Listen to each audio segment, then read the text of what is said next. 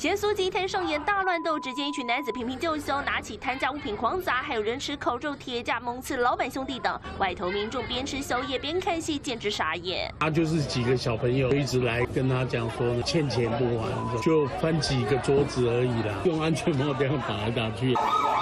事发就在台北市林社子市场，十八号晚上，六名恶煞来到咸酥鸡摊闹事，不止动手砸店，还跟老板兄弟等打了起来。警方到场，只见打赤膊的被害老板全身是伤，一旁弟弟的臀部也遭铁架插伤。陈姓被害人背部及脸部有擦挫伤，啊，另外弟弟的部分是轻微的脑震荡，臀部的地方。有遭那个钝器擦挫伤。原来双方因债务撕破脸，陈姓兄弟等积欠网络签赌球板约五十万债务，杨姓兄弟多次索讨未果，救了四名友人到对方经营的咸酥鸡摊求债，双方一言不合大打出手。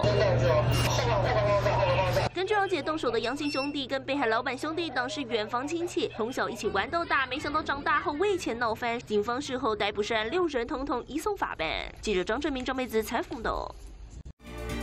我是刘佳，我喜欢与您分享地球大小事、最新时事、国际脉动、财经动态，还有气象资讯，最接地气的新闻台，让你重要消息不漏接，聊天的话题也不脱钩。当然，更多新闻请锁定中视的 YouTube 频道，记得按赞、订阅、分享，还要开启小铃铛哦。